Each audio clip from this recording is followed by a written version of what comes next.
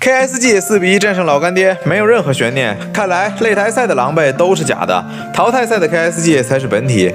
决赛前的金宇永远值得相信，青宇的状态也拉满了。第一局 KSG 就拿了个老虎，很久没有见过的英雄，用来打哪吒。不得不说，KSG 的英雄池和体系是真的多，他们的思路也很明确，针对小洛打。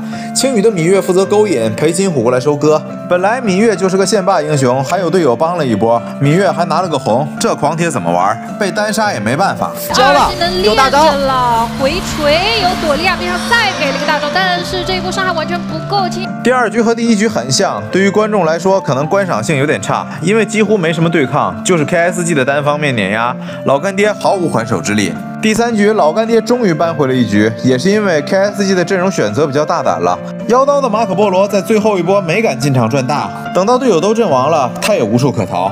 而他这一局选择了肉铭文，还真是没见过。金宇整场比赛的表现都非常不错。第四局他的夏侯惇节奏很好，打团也能扛住大量的伤害。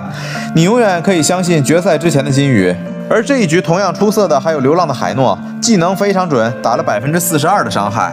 到了最后一局，蒙恬大将军都上场了。青羽的蒙恬可不是老玩家，也不是鸡爪流，是真的有东西。赛场上敢做输出蒙恬的可不多。在高地，青羽闪现进去，一枪就秒掉了小九的戈亚。这是青羽啊，见缝插针。KSG 虽然在擂台赛状态一般，但是全主力出战的 BO7 淘汰赛还是火力全开了，双方差距实在太大。对于 KSG 来说，下半区的签位也很好，保持这个状态，起码进胜者组决赛是没什么大问题的。